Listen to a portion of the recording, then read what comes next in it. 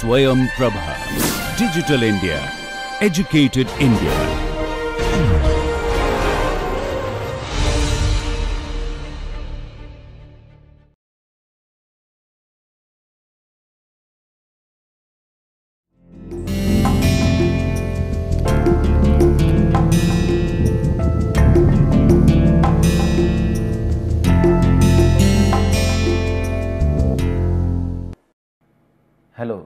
Lecture 5 in the course on folklore studies and in this lecture we would see as to how the idea of binaries has been at the core of anthropological and sociological engagement with folklore. We all know that anthropology and folklore are seen as distinct disciplines that are entirely separated from one another or so do we think and they are not as we know from the intellectual history of these disciplines that sociology and anthropology have always been in, as, in association with the resources of knowledge which come from society. Someone like uh, mm, Darnell in, uh, in an observation sometime in 1973 traced the development of both the disciplines of anthropology and folklore in United States. And in the United States she noted the influence and role of most eminent anthropologist of United States, uh, Professor Franz Boas, who was responsible for the growth of anthropology in North America. Her review of the history of anthropology and folklore opens up the discussion on history of folklore between the years of 1890 to 1920. Regna, Regna Darnell had put forth the argument that Boas regarded the development of folklore was also a part of anthropology. This was not a smooth patch of journey. It is known that during its early years anthropology aimed at studying the exotic and folklore was exotic. Thus, Boas also concentrated more on the myths that were collected from the indigenous people about them. This was in contradiction to the folklorists, however, who aimed towards collecting folklore of different people of the continent, thereby making the discipline more holistic. They included the Old English, Negro, American, American Indian, French Canadian and Mexican cultures. Boas, Franz Boas and his students earned respect from the field of folklore studies for their efforts and interest in this domain. The fear of disappearance of the indigenous people caused this interest as we can recall from a couple of lectures in the very beginning of this course that similar kind of apprehension was also at the core of the advent of folklore studies to begin with in Germany. It was thought that the natives of a place would soon get assimilated into newer cultures thereby not, not re retaining any existing cultural elements. The folklorists were taking similar efforts. The accurate collection of materials of study was thus important. American folklore thus owes its emergence and growth to Franz Boas who strived to record the collected first hand materials and set forth high professional standards for folklore documenting and research. The studies were then given due space in the Journal of American Folklore that was also edited by Franz Boas himself. The trend of recording and documenting the myths of the indigenous people gained momentum. Here it is very important to keep repeating that it is all about the intersection of folklore studies and anthropology on one hand and anthropological intellectual interest in a particular kind of subject and the content of folklore on another. Boas was concerned with the general implications of myth themes, their diffusion, psychological reality and functional integration within cultures. All of these being questioned not raised by uh, uh, raised by anthropologists earlier.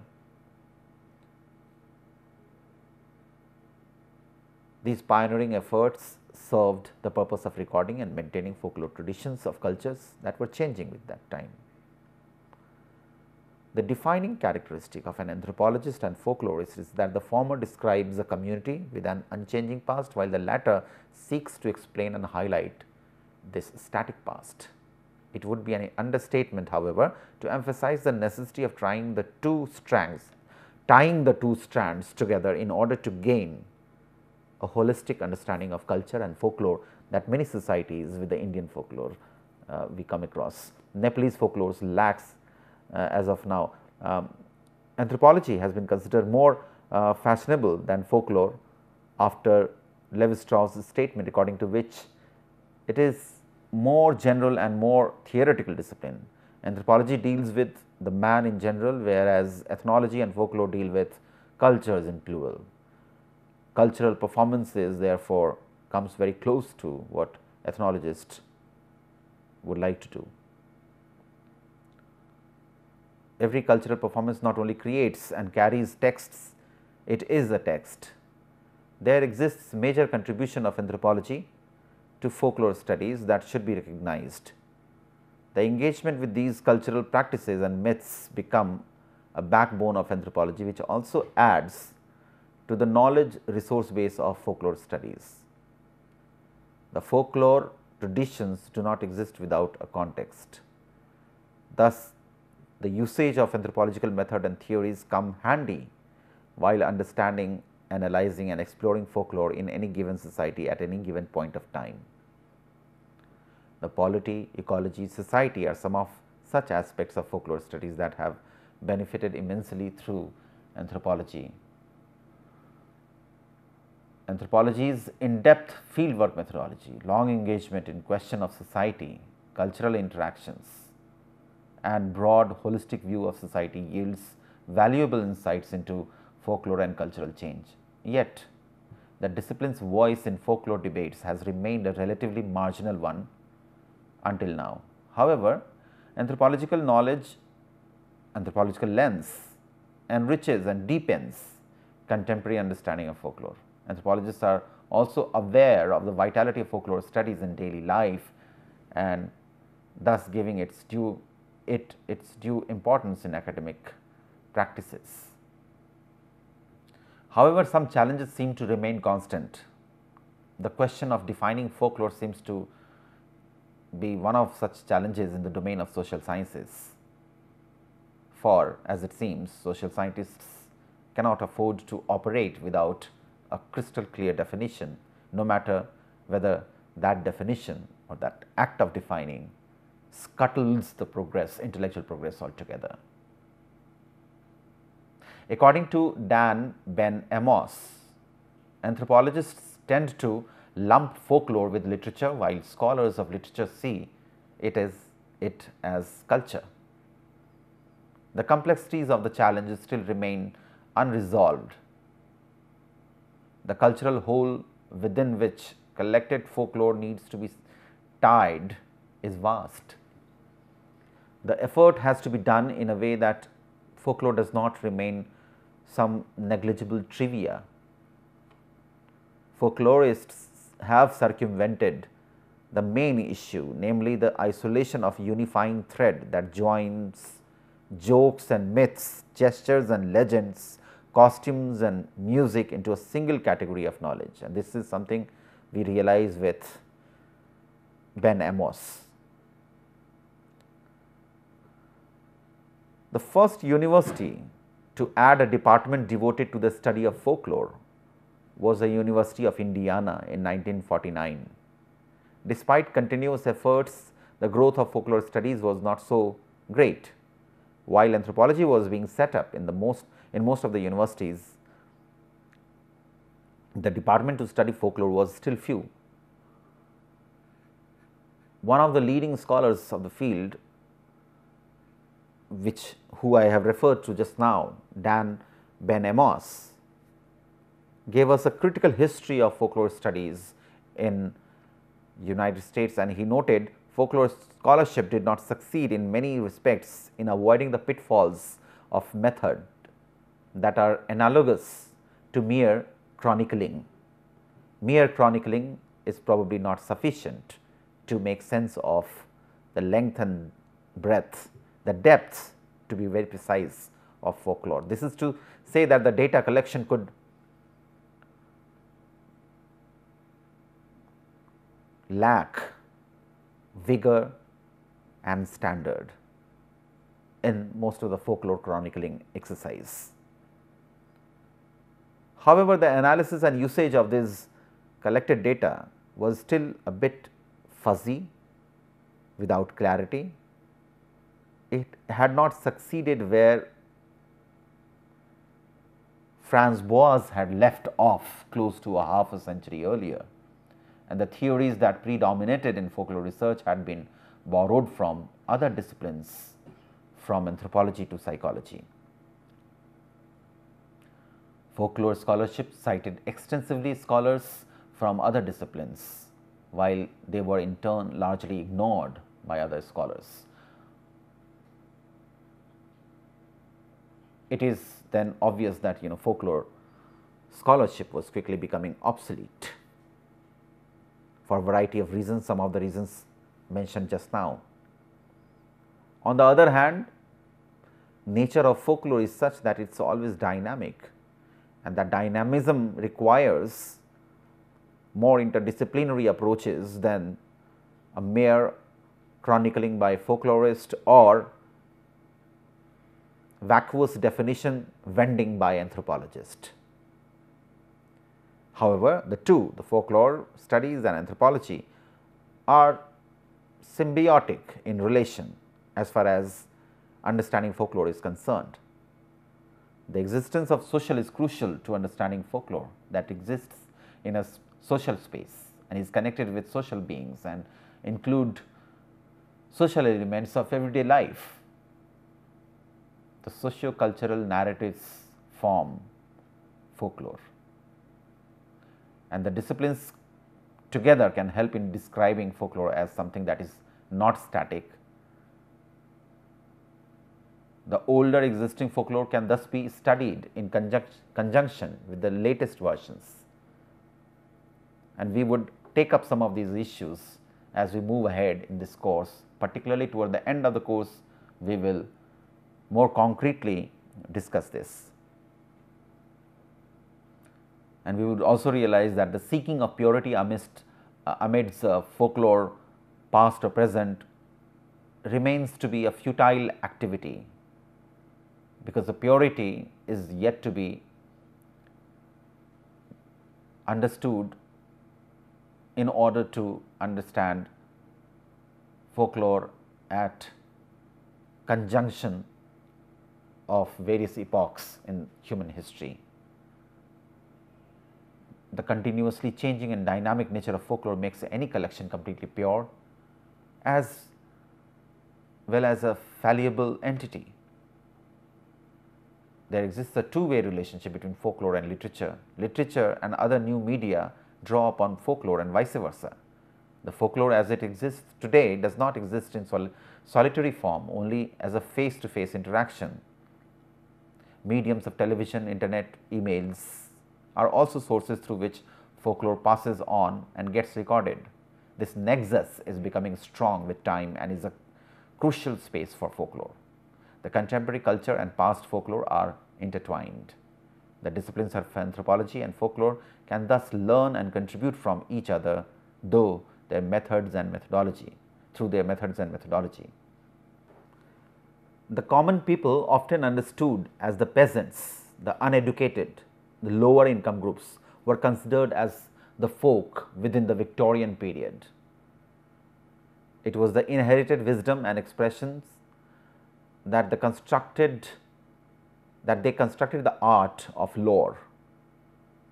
The definition gradually grew with time. It came to encompass interaction and artistic communication by an by any one in a group Thus, by 20th century the term folklore became a vast domain that pointed towards expressive traditions. Its emergence and development came to limelight, so to say. The human practices that were often repeated came to be regarded as part of tradition and thus were deemed to fall into the category of folk life studies. Folk culture has a peculiar characteristic of being participatory its variable nature distinguishes it from popular culture.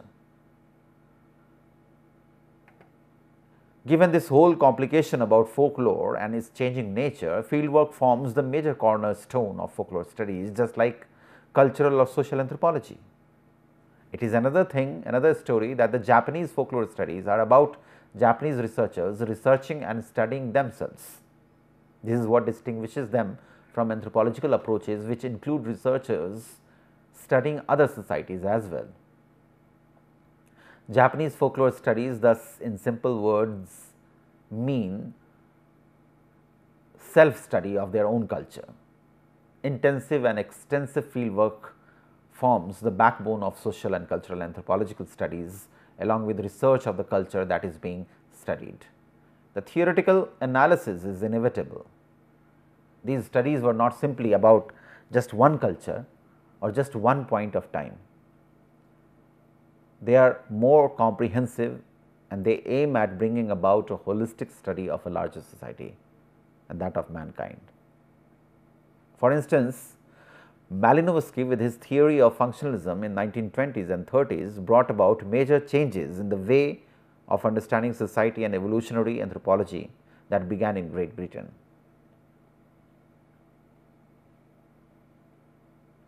It was Claude Levi-Strauss uh, structuralism in the 1950s and 60s that again had a huge influence over social sciences and its disciplines. Clifford Geertz began to focus on cultural symbols in the 1970s and 1980s, giving impetus to interpretative anthropology. These are various stages in anthropology which receives theoretical conceptual churning by the virtue of these new contributions being made and that a, that adds to the larger corpus of anthropological imagination. The meanings became important and it eventually led us to something we are, we are familiar with as writing culture debate. Clifford, Marcus and others were part of this debate and they were basically trying to understand as to how there is poetics and politics involved in ethnographic practices which eventually amounts to anthropological writing, anthropological monograph, ethnographic monograph. They tried showing the, cult, in the, uh, the uh, that the cultural interpretation, the act of interpretation has is fraught with power. The idea of cultural critique was thus introduced and that analyzed the effectiveness of conveying meanings. All these development in anthropology are linked to concepts, various kind of concepts. So, for example, gift exchange, lineage, diaspora, so and so forth. Cultural and social anthropology have consistently contributed to building a common theoretical foundation for the world and to understand the world at large. Folklore has been part of human society since time immemorial, almost a truism, especially true for tribal culture. Tribal society is defined by its culture that includes the heritage, agriculture and it is the folklore that transmits all of these. Folklore can be seen as concentrating and studying one's own national heritage that becomes a part of cultural anthropology. It is rare for any society to exist without having its own folklore, so and so forth. The point however, is to not get lost in the wordy platitude and series of obviousness, truism that has been coming to us through various channels time and again through scholarship as well as non-scholarly channels like popular platforms and even state machineries. The point however, is to understand as to how our engagement with folklore could, could get more nuanced and here what is being offered is to suggest that anthropological interventions in understanding folklore and folklore related dynamics, social reality makes our understanding more nuanced and also provides us more importantly provides us ample scope for generating arguments which are otherwise absent in folklore discussions on folklore. One of the most fascinating arts of being a folklorist is confronting the questions our disciplines evoke from outside world and creates from its own dynamics. And the question is what is that we do? What is the stuff we collect? These questions have started appearing in the decade of 1990s in various parts of the world. Several folklores help to answer these questions. They also pave the way for innovating various kind of approaches. Comparative approach towards studying human nature is certainly helpful in understanding folklore studies. Even a single folk tale or a story can have different and unique variations within the same region. The variations are context specific as well as people specific. Music and dance act as a major source in building a folklore of any group or any region. For instance, the Newari people of Nepal generally use the medium of masked dancing in order to express their stories and belief system. There exists mountains, rivers, deserts, oases, planetary system, everything can form a part of folklore as we see in the case of Newar. There remains strange and unbelievable myths and legends about Nepalese folk that get reflected in their stories. We may find them bizarre, we may call them bizarre myths coming from the Newari folklore in Nepal.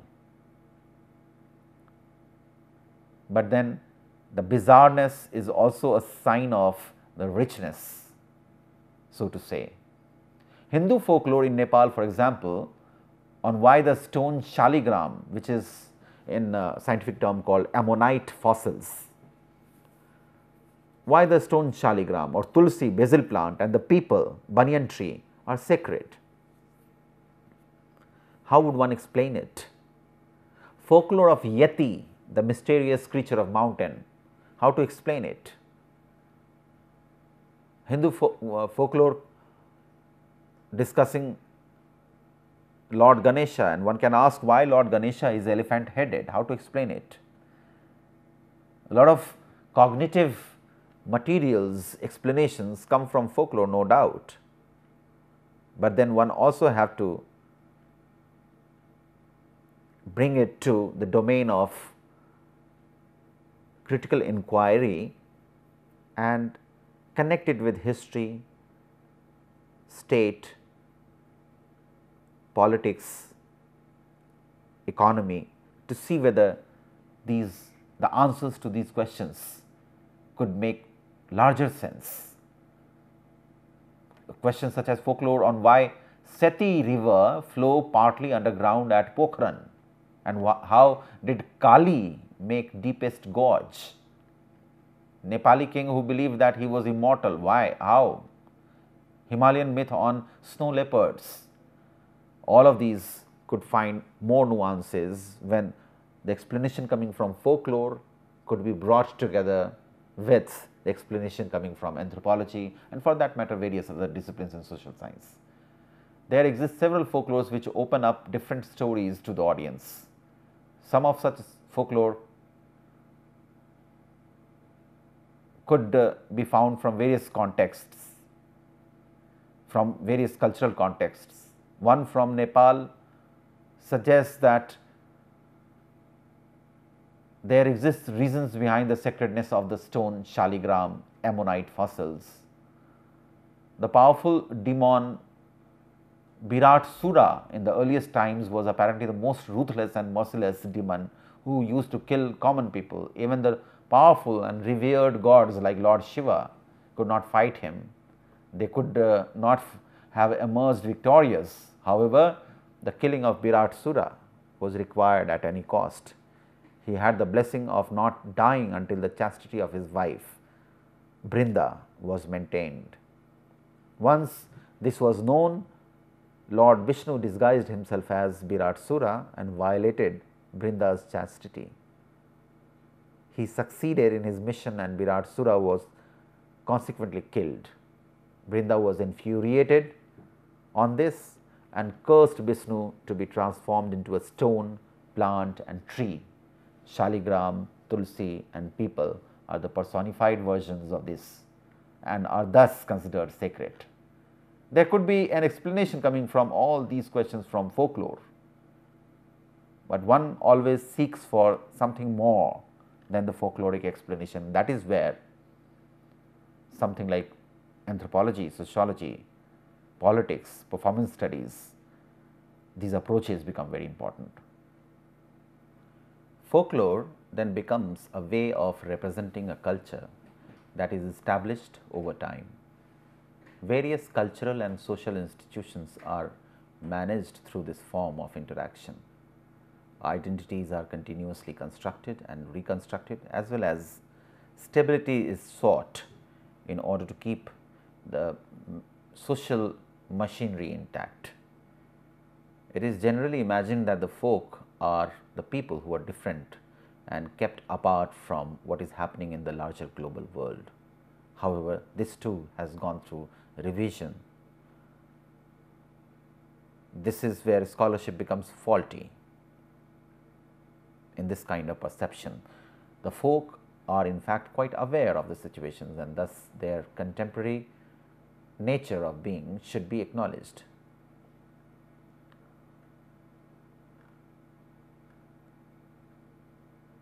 Way back, an eminent folklorist like A. K. Ramanujan made it very clear to us. A proverb such as it's dark under the lamp in Kannada has been collected in Kannada and in Kashmiri at two ends of the Indian subcontinent. The sentence is the same in each place, but it means different things. The reference is the same, but the sense is different. In Kannada, it means that a virtuous man, like a lighted lamp, may have dark, hidden vices.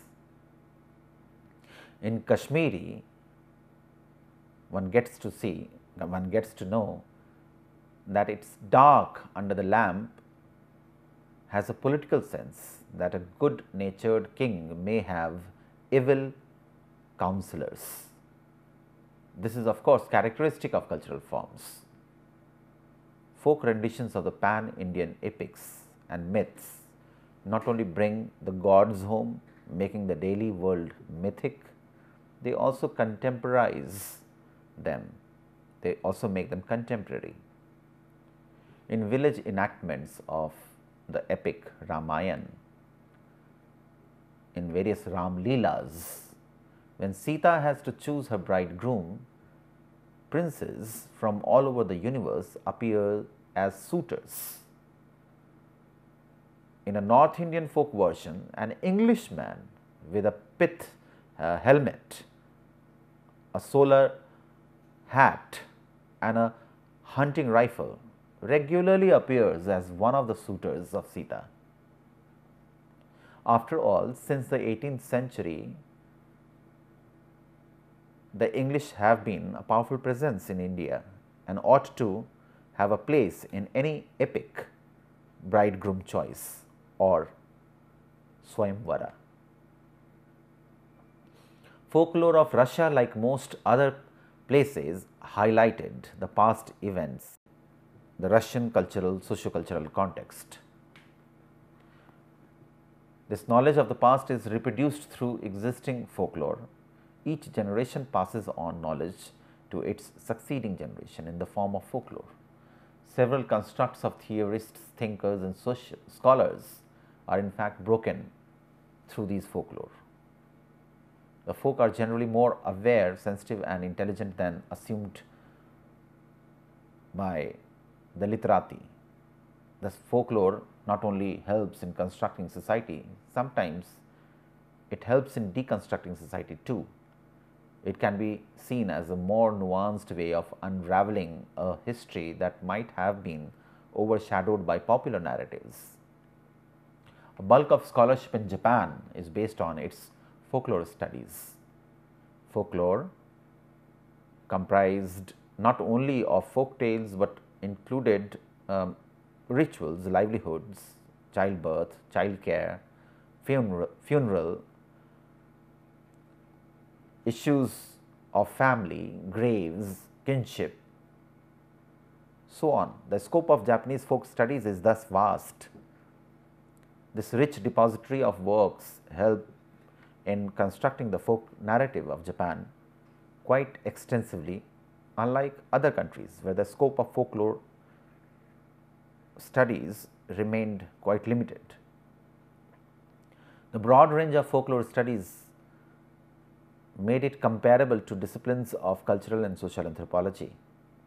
The heavy emphasis on the wide range of folklore is what distinguished the folklore studies in Japan to that of other places. Historically, the Japanese folklore studies developed with continuous interaction and exchange with other disciplines. The research findings of folklore studies were there also led to explaining anthropological studies of Japan and thus significant references in research and analysis we find. Nepal like other regions depend on these things for its quite unique cultural heritage to be depicted through folklore. The traditions of ethnic cultures, subcultures, various groups then gets space to get represented within the larger society. Nepali folklore established relationship of local people with their culture, ethnocognition using folklore for interaction and unity, for managing social, cultural, ecological situations in various institutional settings, for identity making, explaining the natives as possessing an exclusive system of perceiving and organizing phenomenon. The Nepali folklore according to various scholars have gained a lot due to anthropological methodology of intensive field work and continuous range of questioning and, re, uh, and uh, the belief system that is reiterated through folklore plays a major role in, big, in, in bringing about crucial insights regarding different aspects. For example, several ecological concerns get answered in folklore. The ecological conservation practices in Nepal, for example, draw a lot from their local folklore. Gazing into belief systems is instrumental in ascertaining the collective unconscious of a group, that is, the underlying values of a culture, ambitions, their uncertainties, fears, motivation, and morals. They represent collective and inherited patterns of thought in the form of folklore.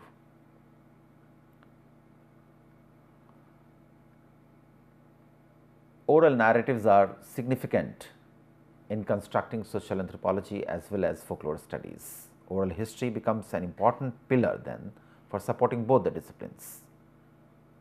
Folklore in Nepal like many other places thrived on a mix of amalgamation, uh, a mix of uh, tradition, traditional with the modern.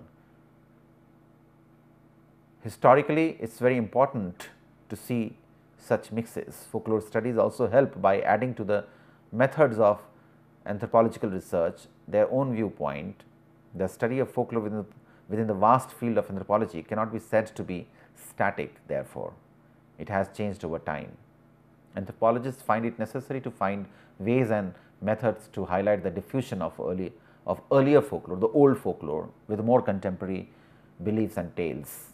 However, it is also important for them to understand the fact that folklore had always believed in this diffusion or folklore always has been spontaneously of this kind that it diffuses and therefore, was never it never stagnated. There was a continuous mix of older beliefs with more recent developments. Inno innovation had been a key factor for folklore uh, in, in, in the realm of folklore and therefore, the scholars who are looking at it ought to be sensitive to the to that uh, feature of folklore.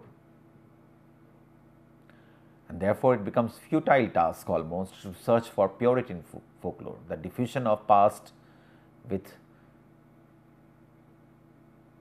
everything that is contemporary makes this difficult and in fact unnecessary. This becomes much more complex with the interaction of society and various mediums such as television or internet or various platforms of similar kinds including radio, print mediums. Communities tend to construct stories and folk culture according to the prevalent culture, cult, uh, medium, media culture that is being showcased through such mediums. The idea of face to face storytelling has gradually become archaic. New forms like internet, emails are setting up new trends in folklore studies.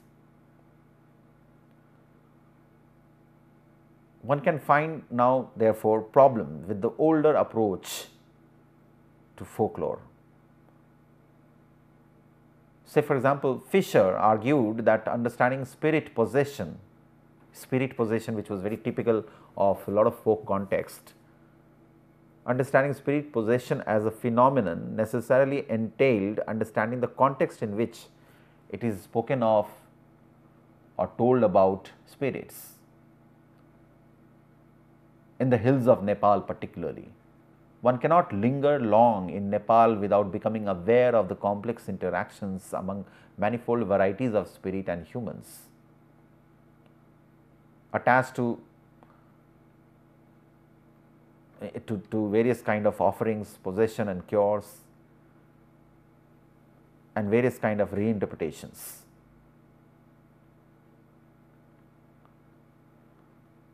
And hence Nepali folklore and stories are typically based upon reality and religious belief with narration on gods, demons, ghosts, animals, love and war and so on. But one also has to add in this whole thing not only in the context of Nepal, but probably even elsewhere applicable that this all comes in interaction with the contemporary, with the contemporary milieu contemporary environment of mediated communication. In the context of urban landscape, since one would find folklore in urban landscape too in the changing situation, unlike earlier anthropological engagement with folklore which tried to seek for folklore in primitive society and later peasant society, agricultural society, uh, non-literate societies one also has to come to the urban landscape. And in the context of urban landscape, though apart from civil war sites and colonial hinterlands, one can examine the way that urban landscape gave rise to urban legends or stories about the perceived dangers and tensions of urban communities such as competition for resources, warfare and economic differentiation perceive the landscape is therefore to carry out an act of remembrance and remembering is not so much a matter of calling up an internal image stored in the mind as of engaging perceptually with an environment that is itself pregnant with the past. Tim Ingold, the anthropologist of space, gives us this powerful, insightful idea which connects folklore with urbanity, contemporariness and summons different kind of anthropological sensitivity in order to understand them. If one can argue that landscapes and folklore are so entangled, then it can be argued that the stories people tell about landscapes are vital to the way people organize their physical surroundings and the ways in which people organize themselves within these surroundings.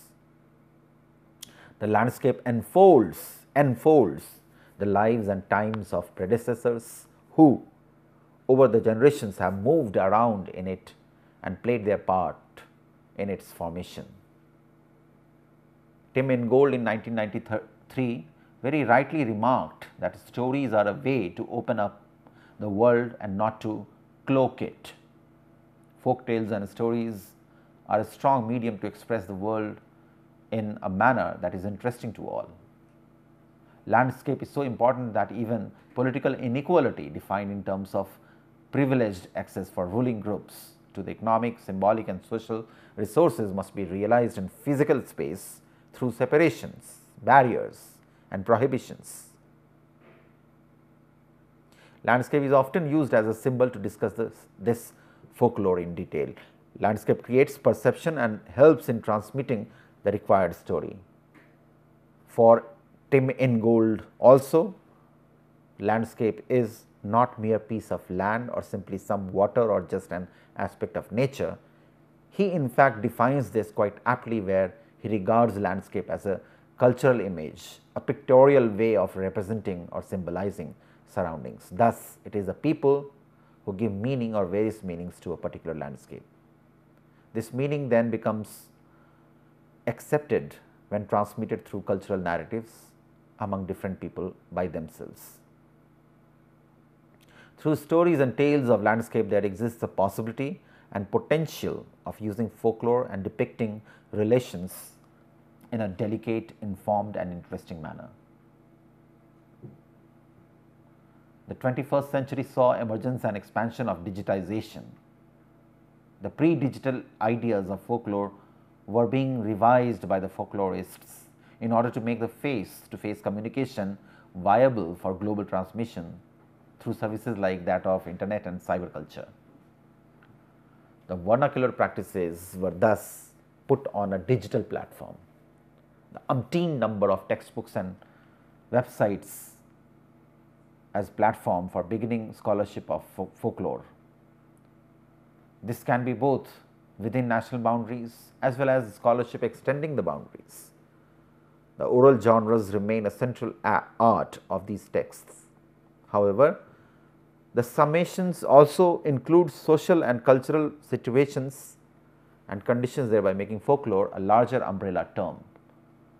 The texts discuss and describe a vast range of categories that become identity markers in any society.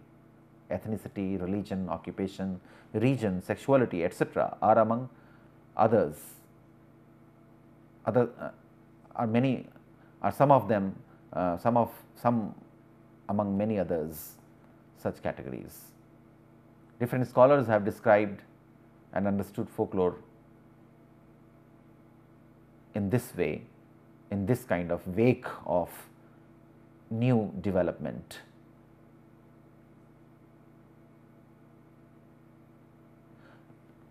And many of them have also tried to develop folkloristic methodology in this novel situation performative, the idea of performative becomes central in this wake. One begins to see that it's no longer just simple case of voice being heard.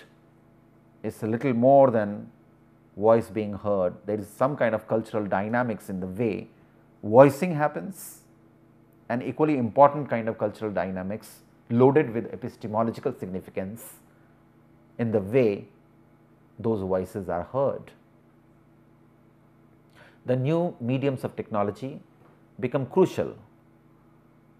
One has to deal with these new technologies in order to, in order to understand the complication in the act of hearing, feeling, touching, in the large hermeneutic apparatus that one has employed in order to understand. An innovative approach towards understanding contemporary folklore is be, has become the latest buzzword amongst various folklorists and anthropologists. One has also seen some of the instances of analysis of emails, emails which are forwarded by one another and the ways in which they served to define conservative social identity in the United States and they described these forwarded emails as political digital folklore with the emails being sent generally having visual images presenting President Barack Obama as an anti-American. The visual folklore is thus a kind of digital folklore that is politically motivated showing how their political dynamics may contribute to constructing not only group identity, but also the individual's social identity within their email group. The dynamic nature of folklore leads to continuous growth of the of new folklore. A lot of these would be discussed in the last lecture in this course. where we would try to understand the significance of this novelty attached to the folklore. However, here we are just trying to flag some of those issues which will reappear in the last lecture. This does not mean that old folklore should be discarded or could be discarded or has been discarded. That remains equally important. The collected folklore of the past is a crucial tool that helps in shedding light over the contemporary existence of communities and living practices. Every group, community, society, nation, culture has its own gamut of folklore. Russia comes across as a modern urban nation. However, this does not deprive it of having culture of its own folklore and folk belief. Larger spiritual understanding of culture and its people also depend on an engagement with folklore. One can classify and analyze those, those materials along scientific lines. The belief like the gifts that must not be giver over the door sill, nor the hands that must not be shook over this same liminal space are interesting to gain larger understanding of society. The Russian websites can be a space where dreams are shared and analyzed online. It is interesting to understand if these, these materials are also joining the panorama of folklore. Is this not folklore one should ask? Is this not calling upon collective beliefs to interpret the events of the present? Is there not some continuity between the folklore of the past and the beliefs of the present? Of course, one has to have that longue durée perspective to arrive at a more sustainable analysis. When we look at texts this way, we can modify terms such as great and little traditions and see all these performances as transitive series, a scale of forms, a phrase in a different context from someone like Collingwood, responding to one another. Past and present was pan Indian and what's local. All these things would succumb to critical analysis. For folk who are living it, texts are pervasive behind, under, around all texts of our society and in all its strata, not merely among the rural and the illiterate, the unreflective many. They are everywhere in city and villages, factory and kitchen, Hindu, Buddhist, Jain, Christian, Muslim, king, priest, clown and name it. You would find their per pervasiveness and this pervasive, pervasiveness becomes more complicated once one attaches to it the contemporary situation.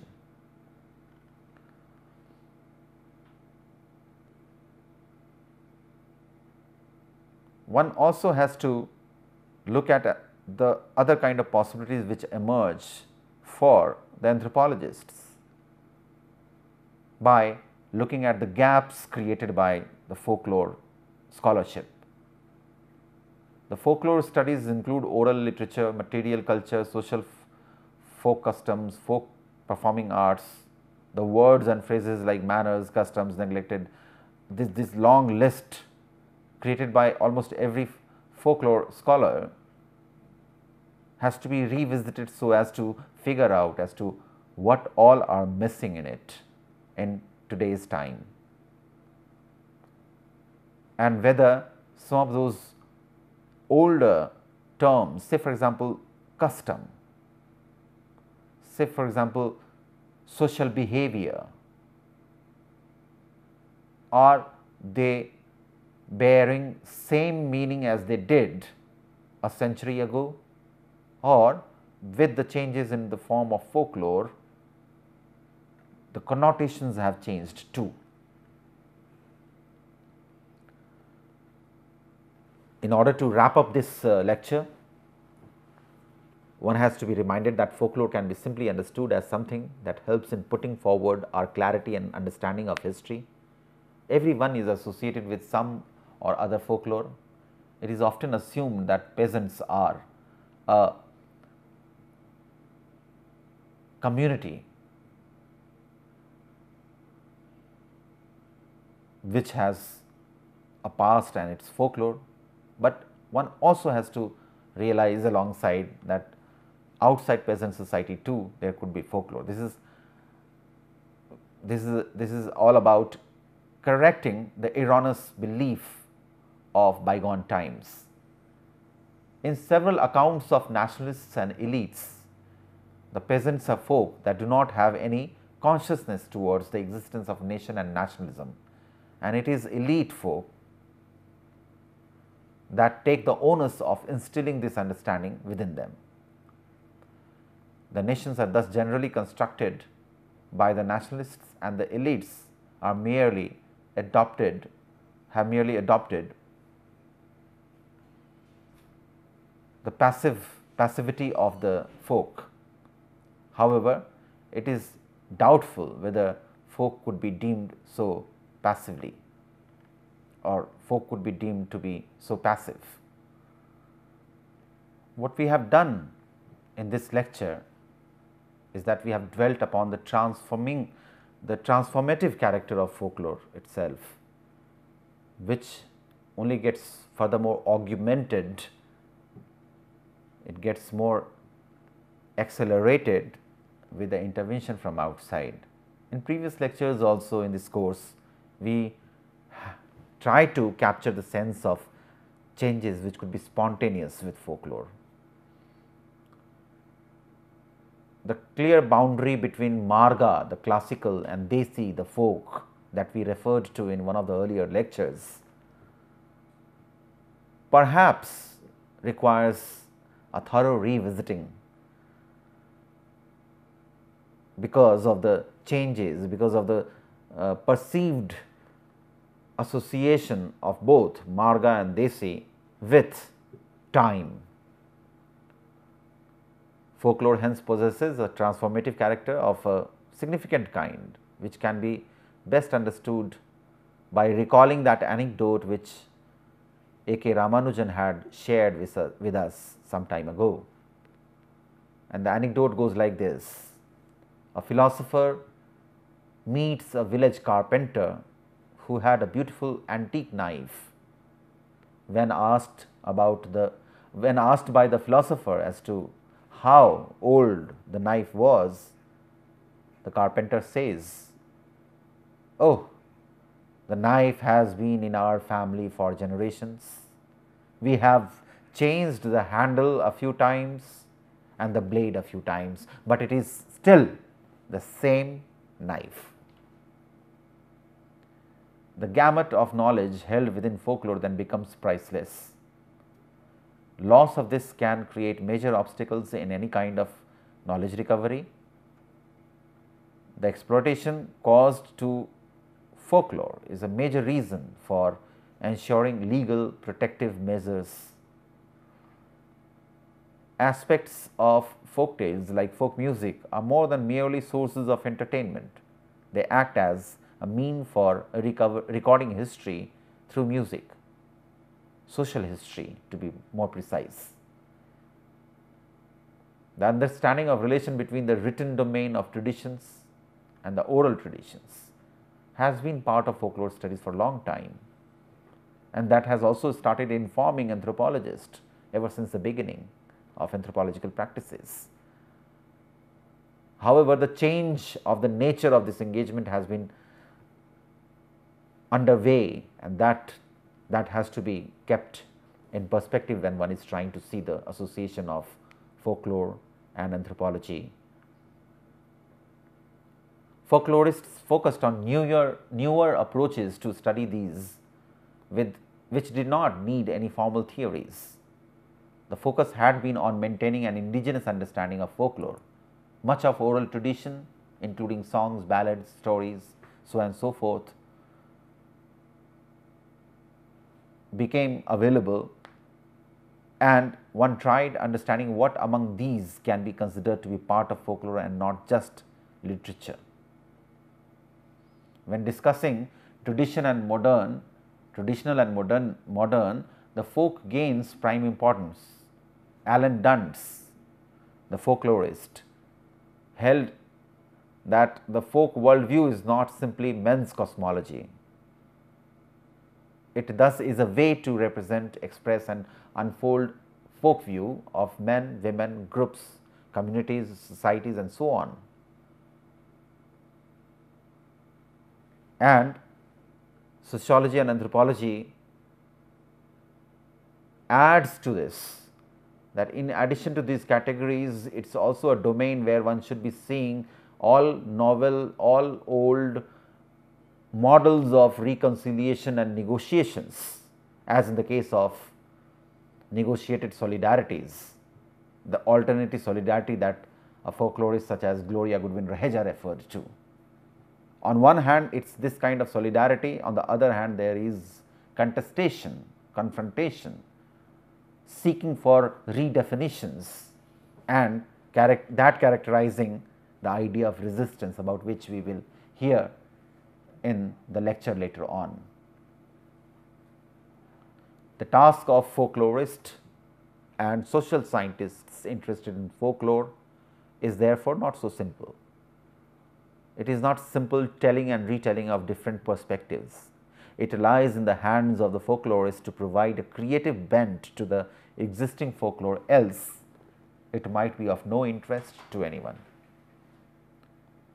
They must raise the folklore to a pedestal which is attractive and charming to all. It is a critical, impartial, comparative and rational analysis that gives credence to the folklore. The folklorist has the responsibility of providing the directive turn As mentioned earlier, the historian becomes a significant figure and along with historian comes anthropologists and sociologists. In one of the earlier lectures we had dwelt upon the importance of historian. Here in this lecture we have dwelt upon the importance of anthropologist as far as making a headway in folklore research, folklore studies is concerned. This lecture is over here we will continue with some of the issues that we have flagged in the lectures later on. Thank you.